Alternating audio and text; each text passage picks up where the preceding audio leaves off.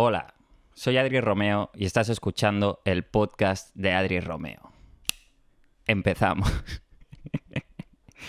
Me he puesto estas gafas hoy, mis gafas de cortar cebolla. No, es mentira, me he encontrado, estas gafas que hacía tiempo que no, que no veía. Y, y he dicho, venga, pues yo creo que a falta de texto, a falta de ideas que no tengo hoy, al menos tengo estas gafas y puedo hacer un pequeño gag, ¿no? Si te dan una, si te dan una noticia que te sorprende mucho, es como, ¿qué? ¿Cómo? Tiene que ser doble noticia, como llega tu hermana a casa. Adri, estoy embarazada. ¿Qué? ¿De ti? ¿Cómo?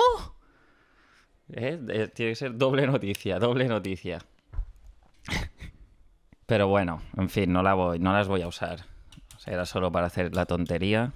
Hoy estoy bebiendo cerveza. Estoy intentando... Estoy bebiendo más de lo que me gustaría, que es nada. Y digo, bueno, ahora llevaba unos días sin beber. Ayer no bebí en el Open.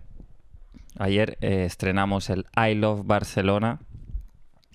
El Open que estamos haciendo este mes de julio en el Bar Mediterráneo con Raquel Herbás, Irene Minovas, Vanessa Valero, Ignasi Taltabull, Tomás Fuentes y Xavi Daura y yo.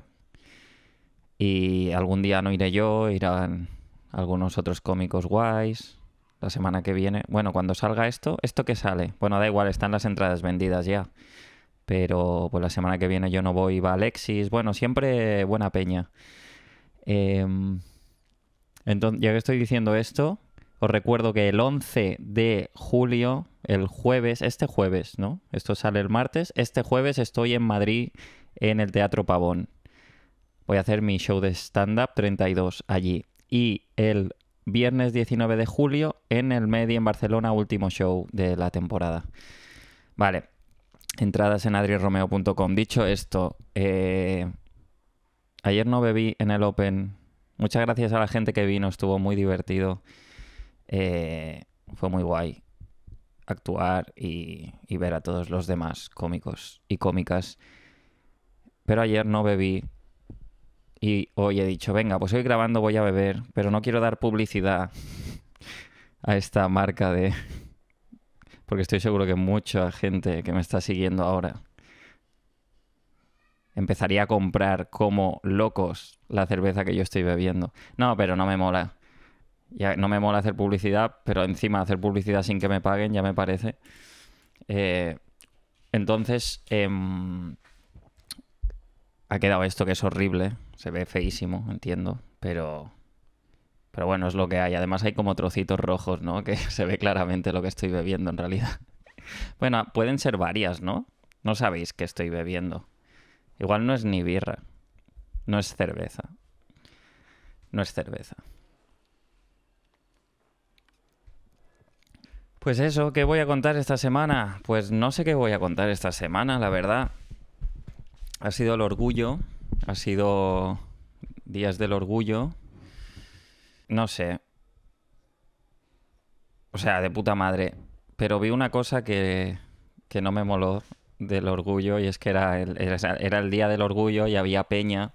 Uno, un tweet que tenía saco de retweets.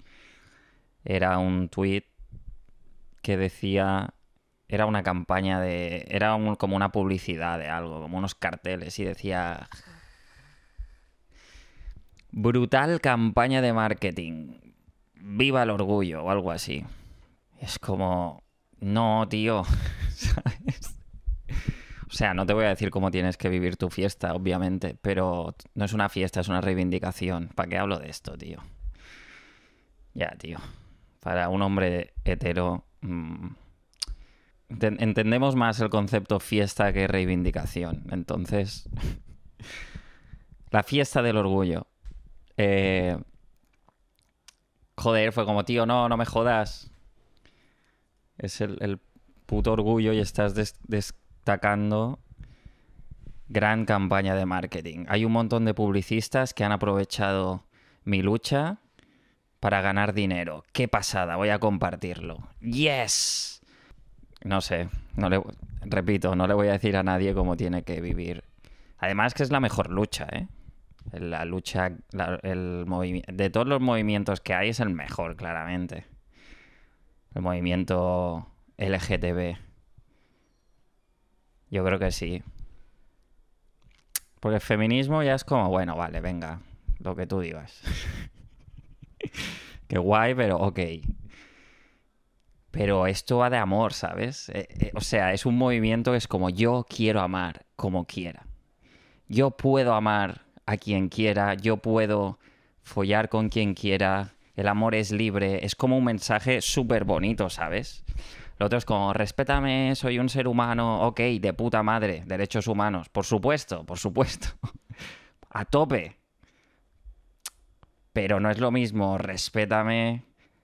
¿Cómo suena? ¿Qué suena mejor? ¿Respétame o soy libre de querer a quien quiera? Yo puedo que... Es el mejor movimiento.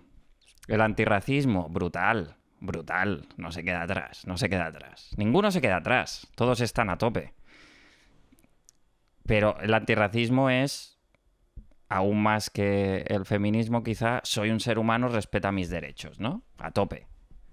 No tendría que haber dicho aún más. No tendría que estar comparando cosas que no vienen al caso de mí, de mí, de mí, que no me interpelan a mí. O si me interpelan. Me tienen que interpelar, ¿no? Esto me tiene que... Es como, yo no tengo que hablar del tema claramente, que ya estoy rompiendo la primera norma, ¿no? La primera norma del club del activismo es, si eres un hombre hetero, blanco, he hablado muchas veces de cómo en España nos creemos blancos y cuando vas a un blanco de verdad se creen que eres árabe o judío y te miran por encima del hombro, pero... pero sí que... Sí que en esta lucha, de por dónde iba la lucha, la, movida esta, ¿no? El racismo es brutal. Muy bien. El antirracismo. la lucha antirracista es brutal. Pero el, la lucha LGTB tiene este componente que es. Eh, yo quiero amar a quien quiera, puedo. Está el factor del amor. ¿Sabes? Que es muy poderoso. Y es más bonito. ¿No? Puedo querer a quien quiera. El otro que es, deja que me siente delante del bus. No queda tan guay. Quizás es más importante, no lo sé. todos son igual importantes. Ah, el mejor es el LGTB, porque además la mayoría de personas que están ahí son tíos casi igual que yo, que nos separa... Mm, eh, yo llevo tote tres días a la semana y ellos cuatro. Esa es la gran diferencia entre la mayoría de... Entonces me siento más identificado claramente con un movimiento donde casi todos los... La gente más importante de ese movimiento son tíos que podrían ser yo, pero que al final... No, no, al final me gustan los tíos. Y yo fue como... No, no.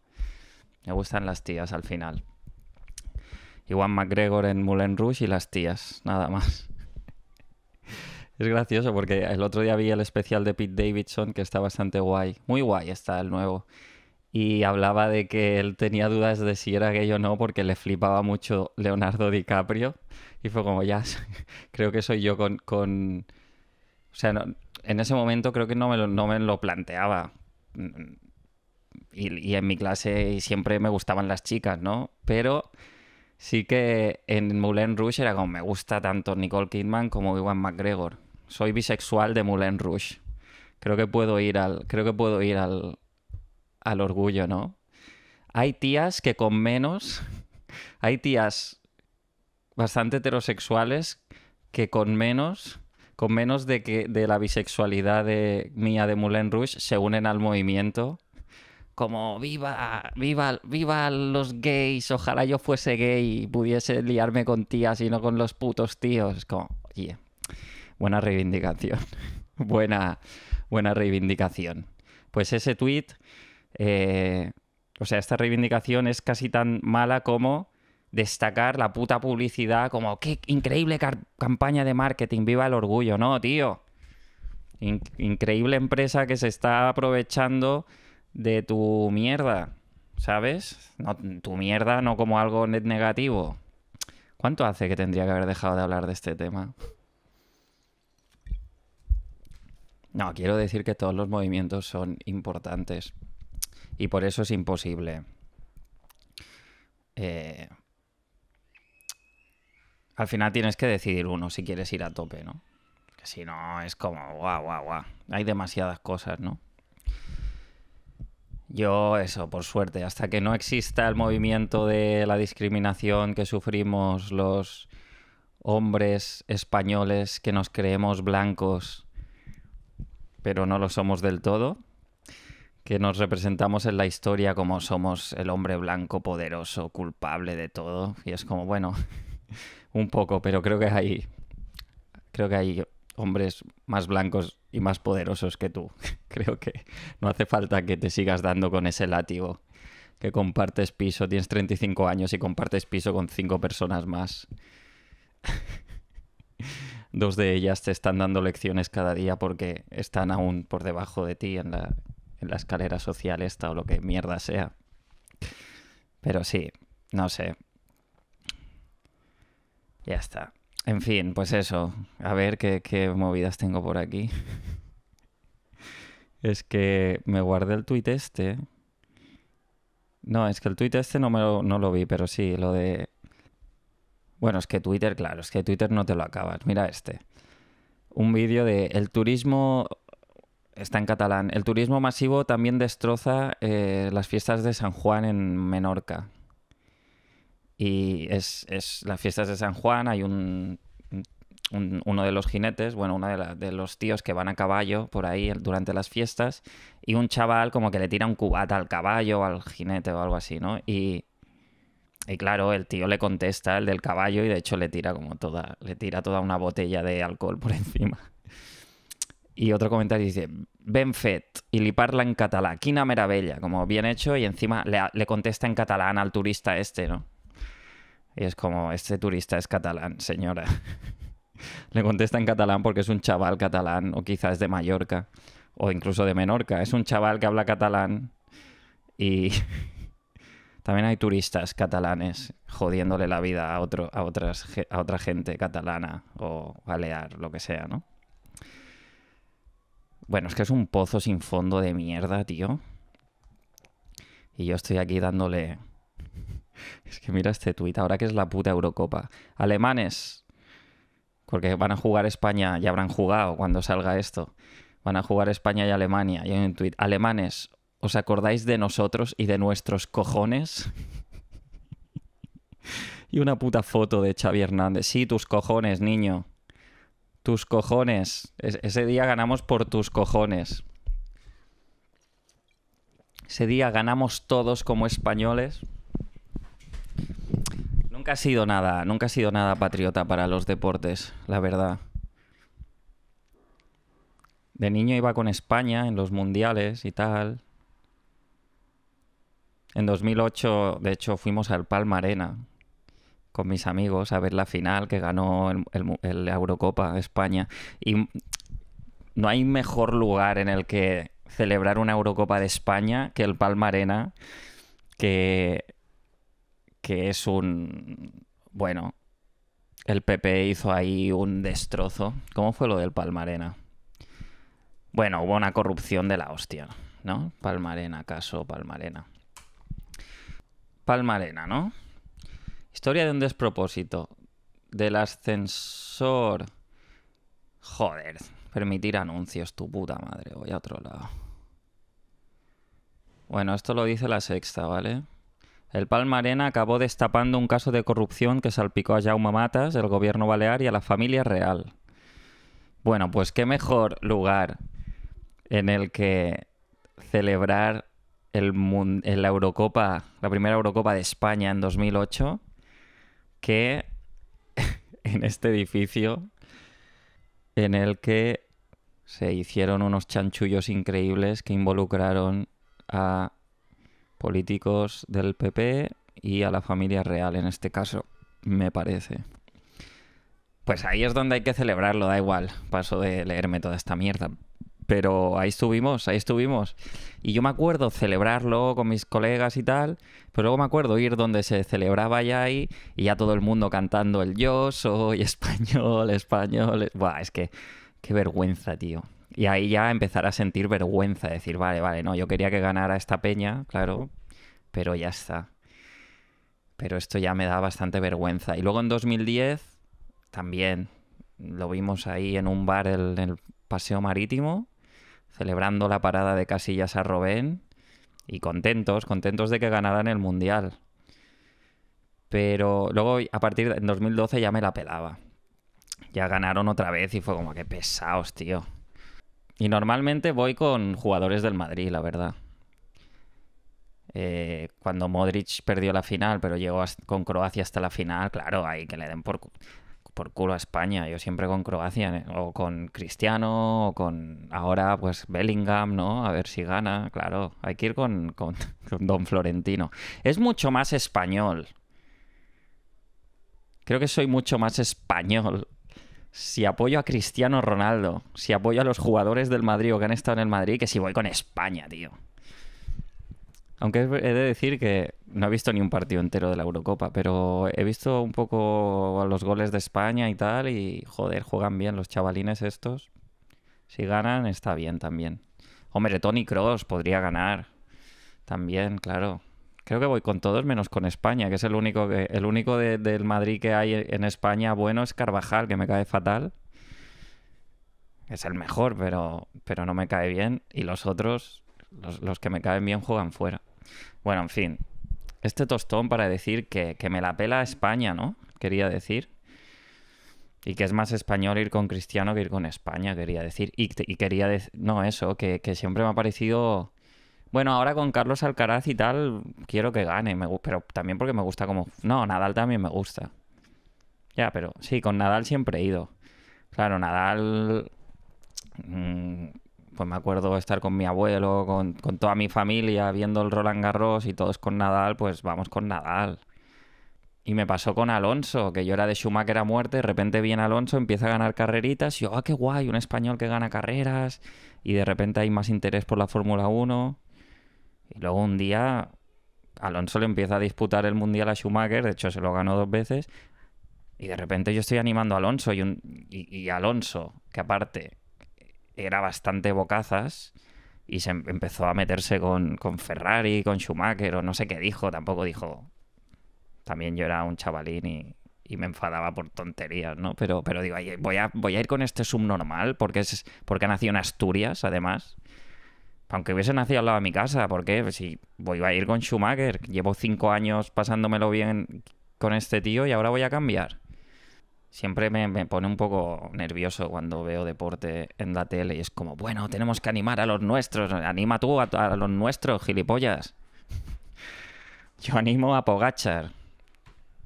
Pogachar justamente creo que lo anima a todo el mundo, pero... Pero sí, Sí, hay que tener respeto también por, los, por las figuras. Como el otro día, la primera etapa del Tour, gana Romain Bardet, que es un ciclista francés que, joder, es su último año en el Tour, ha hecho podio en el Tour, ha sido un gran ciclista y ahora ya está en el ocaso de su carrera y tal. Y llegaron a meta él y un compañero suyo. Y el compañero tenía más fuerza, iba más fuerte. Y dejó ganar al otro, ¿no? A Bardet, al francés que además se vistió por primera vez y única en el porque ya, ya no lo lleva, ya no lo va a llevar de amarillo, nunca había sido líder del Tour de Francia, ¡buah, increíble! Y había gente, no, es que el más, el más fuerte era el otro y tal, bueno, ya.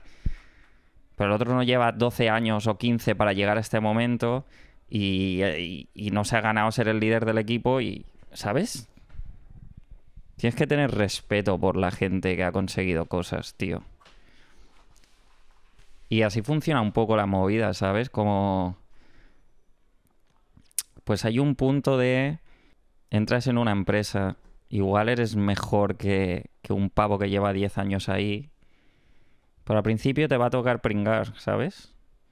Y a mí me ha pasado el primero, dices, ¿pero qué es esta mierda? o yo me acuerdo cuando llegué a la puta SER, llegué a la cadena SER, estuve cuatro meses de prácticas, y ya había dos chavales que llevaban no sé si un mes o unas semanas haciendo prácticas. Pues yo llegué el tercero a ese programa y estuve un puto mes saliendo a la calle a preguntar, bueno, ¿y qué opinas de, ayer del gol de Messi? Ah, sí. Es que era tan ridículo, tío. Bueno, van a retirar la camiseta de Uñaki Urdangarín por su caso de corrupción y van a retirar la camiseta del Barça, del Palau. ¿Cómo, ¿Cómo lo ves esto? Ah, pues, pues, pues muy bien, está muy bien hecho, está muy bien hecho porque, porque no puede ser que el Barça se relacione con este tipo de casos, está muy bien hecho. Muchas gracias. Hola, hola, perdona. Vale, vale, tranqui. Hola, para... Sí, para la graderia de la, la, la cadena SER. Hola. Sí, què et sembla que hagin, hagin retirat la... Oh, fatal, fatal, porque el deporte y la política no se tienen que... Nunca, nunca se tienen que... El deporte y la política tienen que ir por separado. Dos meses. No, estuve un mes. Un mes haciendo esta mierda, tío. Un puto mes. Y era una mierda, pero los otros habían llegado antes, ni siquiera era gente. ¿Qué tal? Pero era, tío, pues han llegado antes y te ha tocado joderte. Pues es lo que hay, yo qué sé. No, no, tiene nada que ver con el argumento que estaba, que intentaba exponer, pero da igual. Al final terminé haciendo un montón de cosas. Estuvo guay. Tengo el libro de Mar Márquez por ahí, que fui a la, a la movida esta. Me acuerdo que fui a fui a cubrir una, una rueda de prensa de Marc Márquez en la ahí en, el Hotel Barceló, encima de la estación de Sants. Y en el turno de preguntas, eh... bueno, cuando me tocó, llevaba seis carreras de seis ganadas en su primera temporada. Y le hicieron cuatro preguntas. Todas las preguntas de estas son obvias y son una mierda.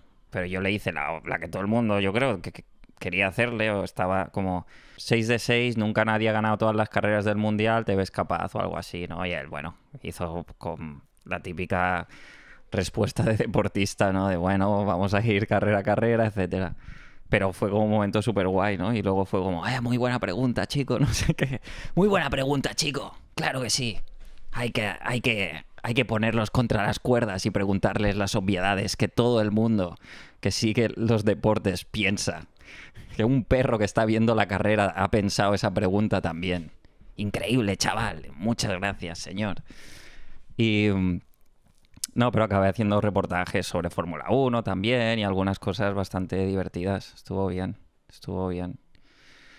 Y por suerte no, no me quedé ahí ni en ningún sitio de la radio, vaya. Porque ahora igual estaría, estaría asqueado de los deportes.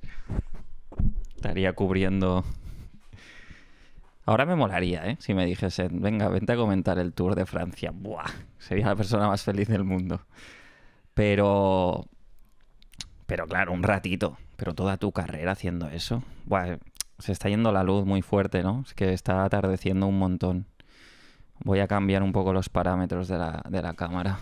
Bueno, perdona por los cambios de color, pero es que, claro, me he puesto a grabar súper tarde hoy porque eh, mi novia deja el curro lo cual es súper guay, por una parte, porque mmm, está más tiempo aquí y lo pasamos mejor juntos que separados. O sea que está guay. Pero ¿qué pasa? Que claro, pues mmm, también tengo menos tiempo para grabar. O si estamos los dos en esta casa minúscula, pues me da palo ponerme a grabar. Prefiero hacer algo con ella. O si ella tiene que hacer algo como estudiar o hacer alguna mierda que hace, pues también es un poco incómodo estar estudiando y que yo esté al lado. Como, bueno, pues el feminismo no mola tanto como, como la lucha LGTB porque no va de amor. es más difícil, creo, estudiar con un gilipollas al lado grabándose. Total, que ahora se ha ido un rato a esta hora y digo, pues voy a aprovechar para grabar, aunque sea ya, cuando esté anocheciendo. Bueno, total, ¿por dónde iba? Por esto, porque porque España, ¿no? Que me la pela, que me la pela, que yo voy con el deportista que me gusta y no sé qué más quería decir. Me he perdido. Pero bueno, está quedando muy de deportes todo, ¿no? Muy muy de deportes, increíble Pogachar ayer en el Galivier. Buena bajada. Como no le gane este año a Vingegaard que viene de la puta lesión esta, ya no sé qué haremos, ¿eh? Este tiene que ser el año. Ganas Giro y Tour no lo hace nadie desde el 98. ganas tu tercer tour, desempatas con Vingegaard, que lleva dos, y que si sigue preparándose cada año para el tour, va a ganar seguramente varios más. Este es el año. Pero Vingegaard da miedo. Como seguidor de Pogachar, es un poco... No te lo acabas de creer. Aunque venga de la lesión y tal, estás ahí como... Era como cuando el Barça de Guardiola, que... Que vivías vivías como aficionado del Madrid, vivías como, es que, mm, sí, sí, vale, hemos, nos hemos puesto 1 a 0, pero es que ahora van a remontar, pero es que ahora no sé qué. Fue ese corto periodo de tiempo. Los aficionados del Barça podrán empatizar conmigo porque es lo que os ha ocurrido siempre menos esos tres años del Barça de Guardiola. Estás ahí como, es que el puto Madrid al final va a ganar. El puto Madrid al final va a ganar. Bueno, en fin, voy a dejar de hablar de deportes. Venga, que ya, ha habido suficiente. Eh, la web de Renfe, tío. Si creéis que os que es una mierda la web de Renfe, esperad a llamar por teléfono a Renfe. Me he pillado un Interrail para irme, me voy nada, una semana, un poco menos a los Alpes, ¿vale? Me voy a ir a caminar solo por los Alpes. Y para los trenes de alta velocidad hay que reservar, aunque tengas el Interrail tienes que pagar 10, 20 euros para reservar asiento en según qué trenes. Bueno, en cualquier tren de alta velocidad de Europa lo puedes hacer online, obviamente, pero sorpresa, en el AVE, en los trenes Renfe no puedes hacerlo online. Entonces te dicen, tienes que ir a la estación o llamar. Y llamé por teléfono, estuve, estuve cinco minutos hablando con un robot. Porque solo te dan las putas cuatro opciones que quieres reservar un Interrail, aprieta uno. ¿Quieres saber información sobre el pase Interrail? Aprieta 2. Es como, no, no quiero nada de esto, coño. Quiero reservar un asiento. Quiero no entiendo lo que quiere. Reservar un asiento, no le entiendo. Quiero hablar con un ser humano, no le entiendo. Con una persona, no quiero hablar con un robot que ha eh, programado un niño con acné que no ha tenido nunca contacto humano. Yo creo que por eso las putas IAs con las que estamos interactuando hablas con un robot que se nota claramente que es un robot. ¿Por qué? Porque la gente que está diseñando estas cosas son robots ya. Es un ser humano que ya es un robot. Bueno, da igual. A los cinco minutos consigo que me pasen con un con una persona que me pasen en cola de tuve 10 minutos en espera al teléfono y ya de repente suena, me contesta una persona y me dice, no, esto no se puede hacer, esto es imposible porque tú el tren que, querías reservar es volviendo, ¿no? Como de Francia a España. Es un ave que viene de Francia hasta España. Viene de Francia hasta España y no podía. No se puede porque nosotros podemos, podemos hacer, podemos reservar el asiento si viene, si, si va, si es un tren que sale desde España. Si vas de España a Francia, yo te puedo reservar el asiento que quieras. ¿Qué asiento quieres? El que quieras. Te lo reservo pero de España a de Francia a España no podemos reservar el asiento. Y es como, pero vamos a ver. Sois la misma compañía, es el AVE de Renfe, un, un tren que va de España a Francia y luego vuelve de Francia a España. La misma gente, es el mismo tren, es la misma compañía, el mismo puto revisor, la misma persona vendiéndote el mismo bocata de mierda en la misma cafetería de mierda. No, si vienes de Francia a España, por algún motivo. no, esto no se puede hacer. Me dio dos y me dice, esto lo que puedes hacer es cuando vas a Francia y cuando estés en el andén, ahí preguntas a ver si hay sitio en el tren. Y yo, ¿qué? Pregunto en el andén, ¿a, qué? Al, al, palo del andén. Y la otra opción es, si no, entra en ser tren. Ser tren, me dijo. Entra en ser tren y ahí podrás. Todo esto me lo dijo como después de... Me dijo, un momento, voy a consultar a ver si hay alguna manera de esto que me pides. De Francia a España se puede hacer. Y se va un rato y me dijo esto y, se notó que me lo decía, pero que no lo sabía de primera mano. Alguien se lo acababa de contar y ella más o menos me lo dijo. Bueno, total, busqué ser tren, digo, ser tren, ¿eh? SR tren, sí, sí, sí, bueno, no existe. Encontré una captura en un tuit de una especie de aplicación hace cuatro años. Una aplicación que ponía ser tren no sé qué. O sea, me ha mandado una aplicación que hace años que ya no existe. ¿Qué coño es eso? Bueno, en fin. Y luego no, me había quedado muy claro esto y busqué Foro Interrail, el tren de Francia a España, el AVE este y un montón de, de The most annoying train in Europe. El único tren que no puedes reservar online, tal. Y, al final decía en las peñas como súbete al tren con el pase Interrail y le dices al revisor que te busque un asiento y si no hay asientos, normalmente mm, te dejarán ir, aunque sea en el, en el vagón restaurante.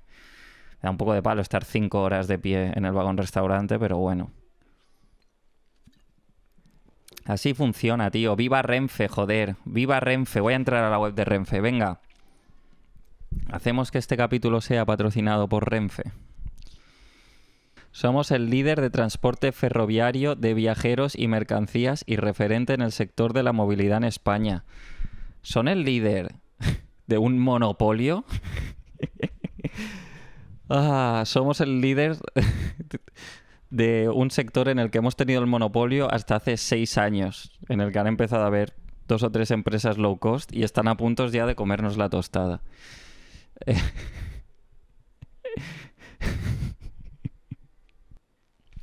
O sea, Renfe nace después de la guerra civil. Había una veintena de compañías, ¿eh?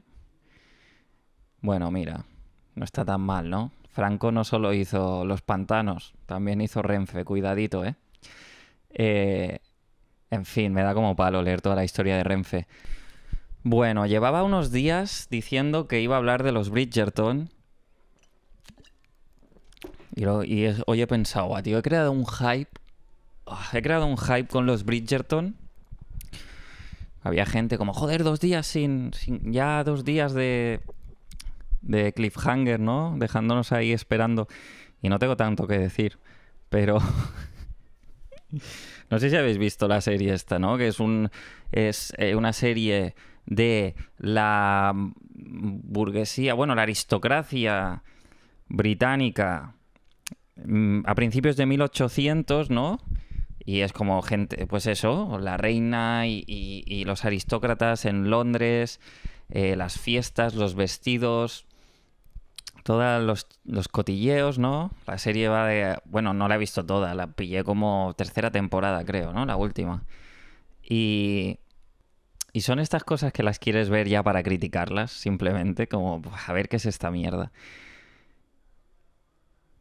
Y claro, la trama va de que hay una tía bueno, ahí es... La trama son los romances, ¿no? De, bueno, pues eh, en los bailes se cuece la movida y eh, la gente va a los bailes y la hija de los Rockenflau eh, le gusta un poco el joven Jorgensen que ha venido de, de viaje unos días y tal y, se enamoran y se casan y esto nos va bien también a nuestra familia o no, bueno, todo está movida, ¿no? Pero, ¿qué pasa con esta serie? Primero de todo que una de la, trama grande es que hay una pava que, una de estas que, está, que están en estas fiestas, que edita una revista contando todos los cotilleos.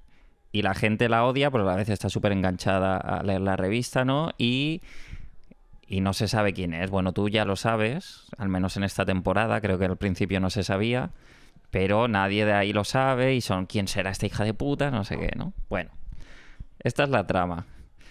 ¿Qué pasa? Que, claro, yo la primera vez que lo vi y, hay un momento que están dos, los dos protagonistas de esta, de esta temporada liándose ahí, se dan un beso, bueno, liándose no, se dan un beso y se dicen que se quieren o algo. Y de repente entra una voz en off y dice, es un momento dulce para la feliz pareja. Y, es como, vale, estoy viendo una serie en la que una voz en off me va diciendo exactamente lo que estoy viendo.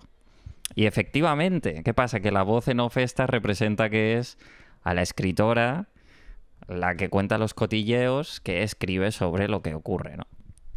En este caso escribía sobre ella misma, porque ella era una de la pareja, pero bueno. Da igual. La cosa es que... Y vamos a entrar en el tema. Lo único que realmente choca, bueno, igual hay más cosas, pero el gran problema de esta serie, o la gran cuestión, es que no existen las razas en esta serie. Quiero decir, no existe la... No hay ninguna tensión racial, no hay... O sea, la reina de Inglaterra es negra. 1800 y pico. Y la gente se relaciona entre ellas totalmente sin ningún... No hay ni una mención a, nada, a tu... Bra... ¿Sabes? Es como no se comenta, no, ya está. Simplemente viene un aristócrata que es negro, una mujer india, un tal, y están todos ahí y, es como el mundo ideal, ¿no? En el que, no sé, la gente es daltónica y no ve los colores, ¿no? Como que no hay, no hay problemas, todos, todos somos iguales, ¿no? Pero de verdad, no hay ningún... Claro, el tío que... No es, no es un rasgo de su personalidad, nunca es como, hostia, ¿y cómo ha sido, ¿no? Ser negro en, cómo ha sido tu experiencia o de dónde viene tu familia, porque claro, no, no, esto estamos aquí, somos el anuncio de Benetton y es como que siempre ha sido así, no, existe racismo, ¿no? En esta... Sin embargo, todo lo demás, ¿no? Como los, todos vestidos de época y tal.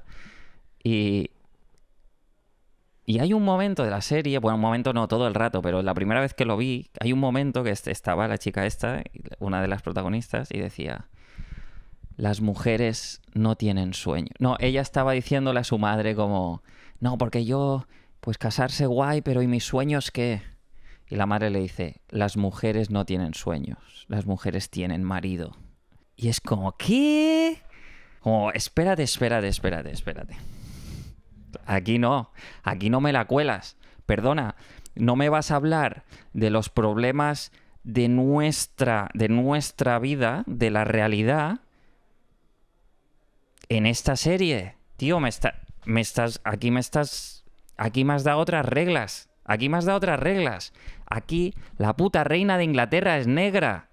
¿Qué me estás contando con luchas sociales de nuestra sociedad? O sea, no, o me lo das todo o no me das nada. O sea, ¿Sabes? Puedes venir y decirme, eh, ¿quieres hacer una crítica social? Vale, crítica, pero también haz una serie de verdad, como las hay, los Tudor, Victoria y tal. Si quieres hacer una serie realista de esa época y, y, mediante esa serie abordar los temas que nos feminismo, racismo, eh, antirracismo o bueno, los problemas reales pero no me puedes poner a la reina de Inglaterra en 1800 una señora negra y venirme con, Dios, ¿por qué las mujeres estamos tan oprimidas? Como, ay, los negros no.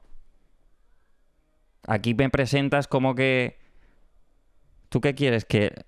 Es que mi hijo, mi hijo el día de mañana va a ver los Bridgerton y se va a pensar que no hay problemas raciales. Sin embargo, no, porque, claro, mi hijo, vais a hacer que mi hijo crea que las mujeres han estado oprimidas, pero no ha habido racismo. Y por ahí no paso. Mi hijo tiene que saberlo todo. Y yo no se lo voy a contar. Yo voy a ver el Tour de Francia. Así que los Bridgerton, no sé dónde quiero ir con esto, tío, pero me pareció demencial. Perdona, no. No me cuentes esta patraña. Lo siento. Si quieres hacer un de esto, habla de la realidad o me lo das todo o no. ¿No? No sé. ¿Quieres que empatice realmente? Además, empatizar con una aristócrata, ¿no? De, de... Qué vida tan dura que tiene. Pero aparte es como... Sí, sí, es que no, no, no. Me parece demencial. Me parece demencial. Meter un mensaje feminista como querer... Querer... Querer meterme un mensaje social en una serie donde la reina de Inglaterra en el 1800 es negra. No, o sea, no, en ese mundo no existen los mismos problemas que en este mundo. No puede ser. No, sí, había coches voladores y, y había. Mm, existía el, el teletransporte. Pero el problema de la industria cárnica. Vamos a afrontarlo en esta serie. No, perdona. En esta serie no hay problemas con la industria cárnica. No me jodas. ¿Ha comparado los problemas de la industria cárnica con los problemas de las mujeres? ha comparado la opresión de las mujeres. Bueno, no sé dónde voy. Es el, claramente este capítulo es el más errático que he hecho. Simplemente los Bridgerton. Yo qué sé. Está bien. Es mala, es mala, es muy mala, es muy mala. Pero yo qué sé, pues igual de malo que. que mierdas que puedo ver yo. Es como una cosa mala para chicas, en teoría, ¿no? Este es el clase de, es la clase de mensaje que intentamos combatir en los Bridgerton. Son comentarios de mierda como este, que dice que los Bridgerton es para chicas. No es para chicas. Es lo que tradicionalmente sería para chicas. Eh, pero sí, la mayoría de su público seguramente sean chicas. Pero bueno, no lo sé. Simplemente es muy mala. Es muy mala y tiene mucho éxito, como casi todo lo que hace Netflix. No pasa nada. Eh, ya te digo, pues igual de malo que una Eslovaquia-Turquía. Yo qué sé, no sé, no, no estoy viendo. O que una etapa, la etapa de hoy del Turga ha sido infumable. En fin, el otro día estaba hablando con mi novia. Estábamos hablando de ópera con no sé quién. Y, y mi novia me dijo que le gustaba mucho una ópera de Mozart que se llama Cose fan tutte. Y, la movida de esta ópera, de esta ópera, es que va de. Son dos tíos que sus, sus, parejas, sus mujeres les dicen que les serán siempre fieles, siempre, siempre, siempre. Y entonces, como que hay un pavo que les dice, no sé si se apuestan pasta o algo, es como, ya veréis que no, que sí que os serán infieles, que seguro que no, no, eso no es así. Entonces traman un plan que los dos tíos fingen que se van a la guerra los llaman para la guerra. Entonces se van, se van, y cuando se van, no se van a la guerra realmente, lo que hacen es se disfrazan y vuelven a intentar seducir a sus esposas. Creo que se cruzan, ¿no? Como el. Como si voy yo, yo y mi colega nos vamos, pues yo intento eh, ligarme disfrazado a la mujer de mi colega y mi colega a la mía, ¿no? Bueno, ese sería, ese sería la trama, tío. Esa es la puta trama de la ópera de Mozart. Y estaba pensando, tío, Mozart era el, Adam Sandler de su siglo, ¿no? Realmente es, es Adam Sandler con, más oído musical, aunque Adam Sandler mm, hace cancioncitas que están guay, pero bueno, sí que creo que no aguanta la comparación con Mozart, ¿no? Pero sí, sí, Mozart, el Adam Sandler con peluca. Bueno, que Adam Sandler ya suele llevar peluca también, ¿no? O sea, Mozart era Adam Sandler. Eh, y me pareció fantástico. Que igual que hay otra canción de, de, Mozart, creo que es también, que, que, básicamente dice bésame el culo cómeme el culo. ¿Sabes? Que luego estamos aquí como, joder, la Zoe, vaya puta mierda de letra, ¿no? O quien sea, o Bad Gyal o esta peña. Y dices, ya, bueno, Mozart decía cómeme el culo. Y luego dices, Adam Sandler, vaya, vaya, vaya peli. Vaya trama de peli que se disfraza y él es, eh, es todos los personajes y, vuelve a intentar ligarse a, la ex de, a, la novia de su amigo, pues Mozart, tío. y estaba viendo justo pensando en música clásica, estaba viendo un concierto de estos de Glastonbury, Glastonbury, eh, y pensando, tío, en los conciertos de Beethoven también debía corear la gente, también debía, debía como Beethoven pilla se sienta al piano y hace ta ta ta tan. Y de repente todo el público ¡Woo! ta ta ta tan. Y Beethoven ahora vosotros ta ta ta tan. Y el ta ta ta tan. Ta ta ta tan. ¡Eo! ¡Eo! ¡Toca para Elisa!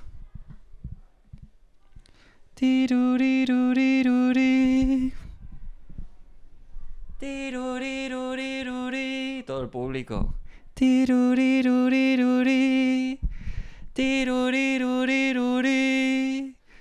I love you, Ludwig. I love you too.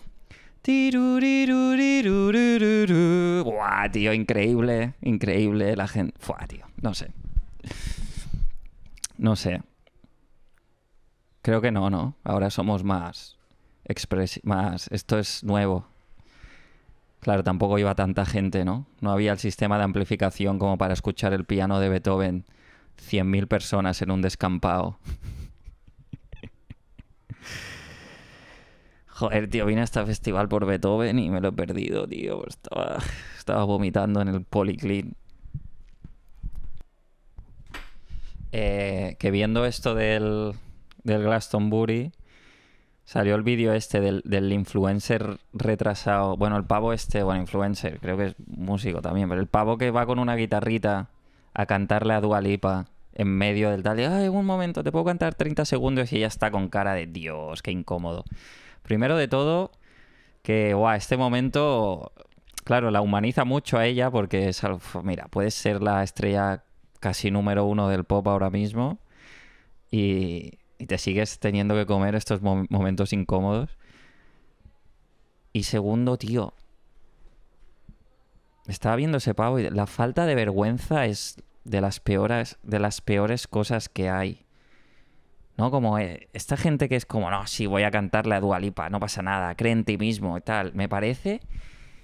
O sea. Es. Es mejor que la gente viva con miedo y sin perseguir sus sueños y encerrada en sí misma y sin expresarse. Si hay que elegir entre esa dicotomía, es mejor eso que imagínate que todo el mundo fuese como este pavo de no, sí. Yo soy lo mejor. Además, luego vi un Twitter. un Twitter. Dios, tengo mil años oficialmente. Vi un Twitter. vi un tweet de un pavo que decía, Buah, pues este tío estaba al lado de mi tienda y hemos estado todo el Glastonbury en, en la acampada eh, con el tío tocando la puta guitarra esta que lleva.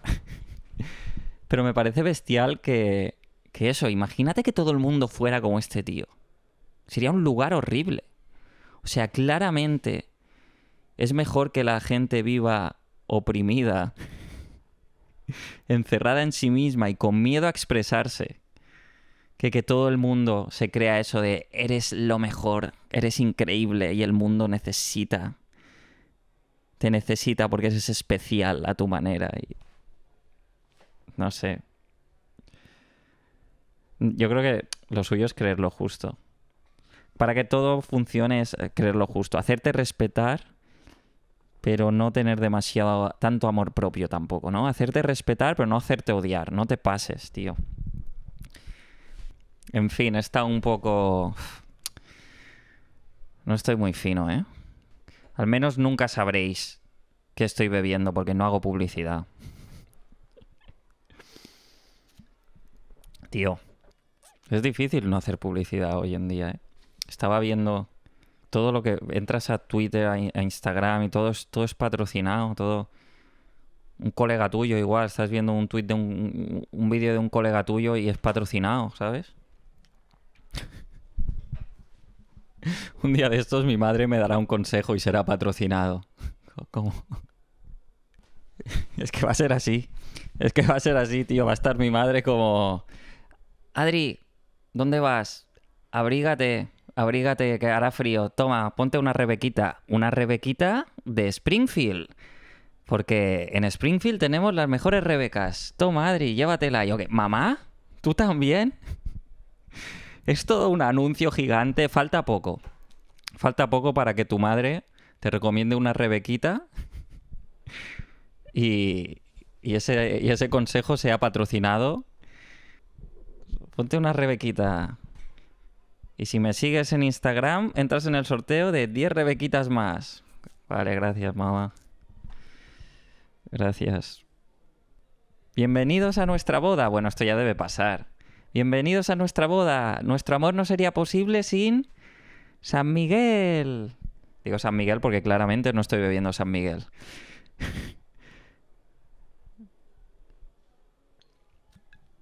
¡Que vivan los novios! ¡Y que viva San Miguel! ¡Woo! Esto va a pasar, ya está pasando, seguro. Bueno, gracias todos por venir aquí. Eh, hoy es un día para...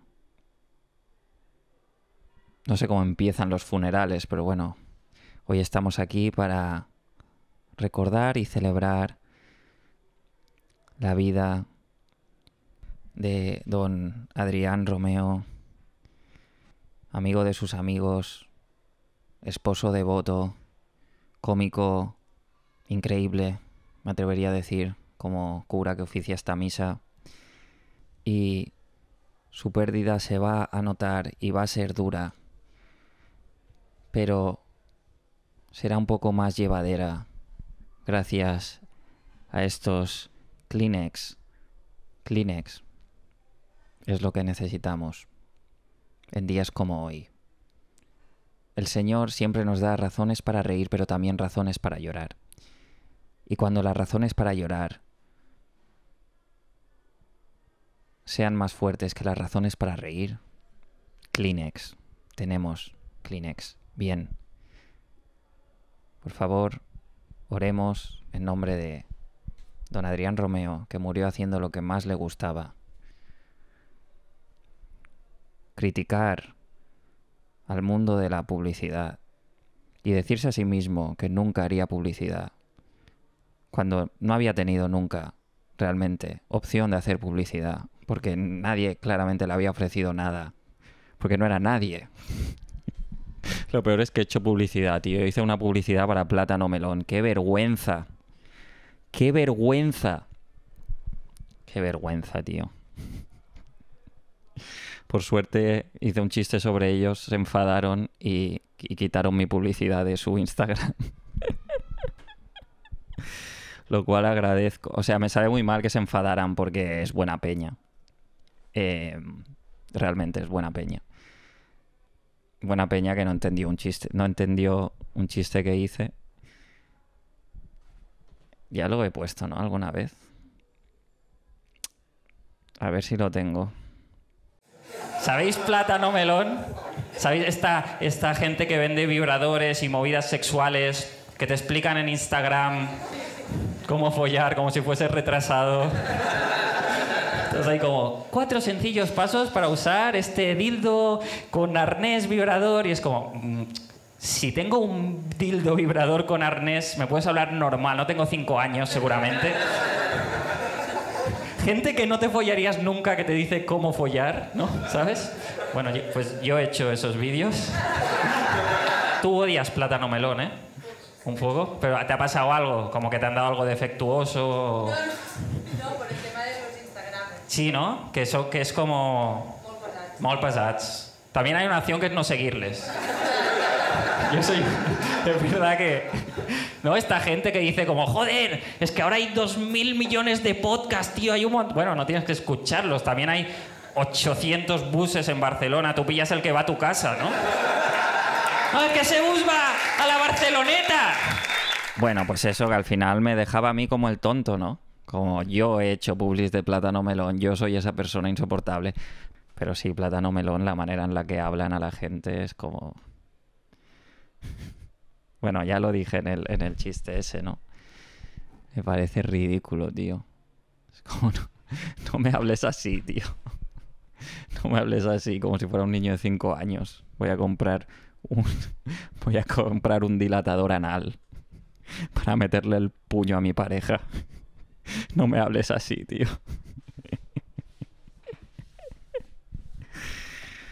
¿Te gustaría meterle el puño por el culo a tu pareja? Sí, siempre con respeto.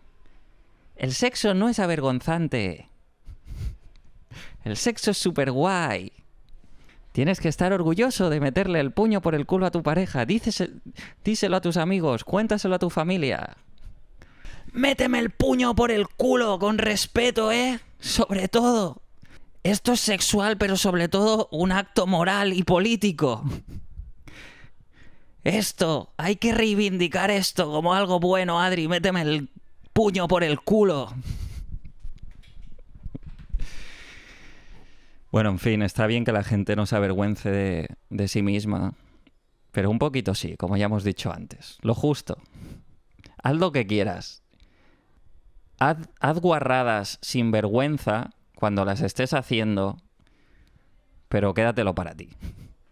O sea, que tú y tu pareja no tengáis vergüenza de, de escupiros en el ano mientras os llamáis cerdo destructor el uno al otro, no sé por qué.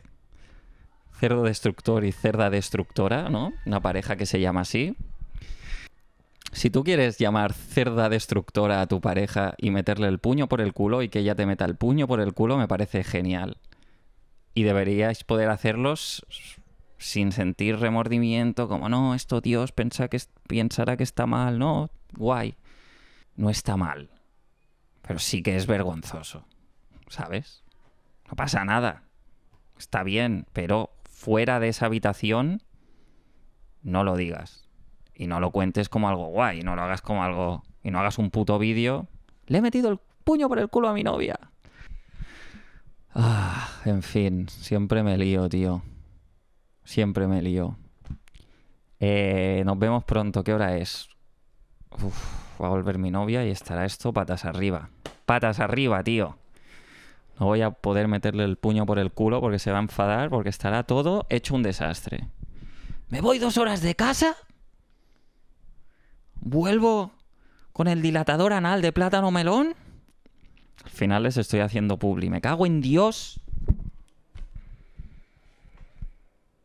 Creo que lo voy a dejar aquí. Creo que esto no tiene salvación. He empezado, comparando movimientos sociales que, de gente. Movimientos sociales que no me atañen. O, de lo, o que no soy que no soy el afectado, movimientos sociales muy válidos de gente que necesita esos movimientos sociales. Y los he comparado desde mi atalaya. También repito, no tanta atalaya como me creo, no tanta atalaya como se creen los nazis de este país. Ya lo he dicho varias veces, pero me gustaría repetirlo. Si te tatúas una esvástica debería haber mucho contraste entre el tatuaje y tu piel, mucho. Y en este país hay mucha gente tatuándose esvásticas que casi no, casi no se nota. ¿Dónde empieza la esvástica y dónde acaba tu piel? Me voy, tío. Me voy porque esto ya está pasando de castaño oscuro. Hasta luego.